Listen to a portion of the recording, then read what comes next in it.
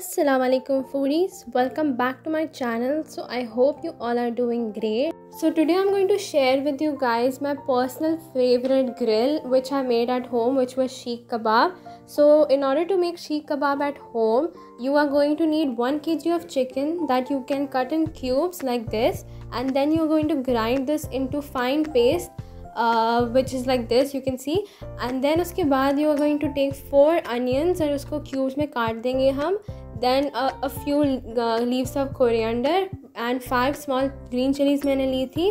And then I took three cloves of garlic and about small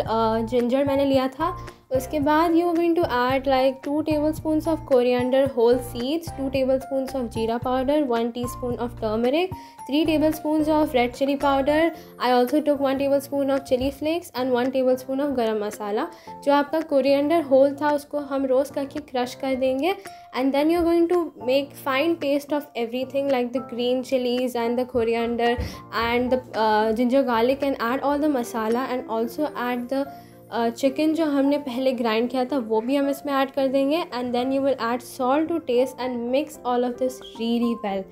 after this uh, you are going to add about like one tablespoon of uh, lemon juice then I added about three to four tablespoons of rice flour so that ये मेरा पूरा chicken का जो mixture है वो अच्छे से combine हो जाए then I made them into shapes of sheikh kebab like this and you are going to fry this in like medium flame for about uh, जब तक आपका chicken sheikh kebab अच्छे से golden brown ना हो जाए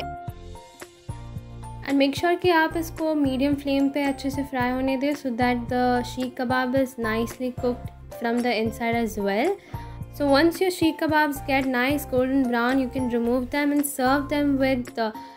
pita bread and I had also serve them with tamarind chutney and green chutney को मैंने दही में मिक्स करके उसको इसके साथ सर्व किया था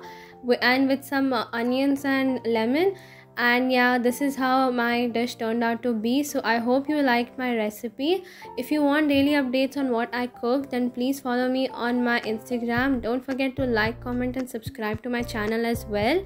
And thank you for watching guys. Signing off with love sarah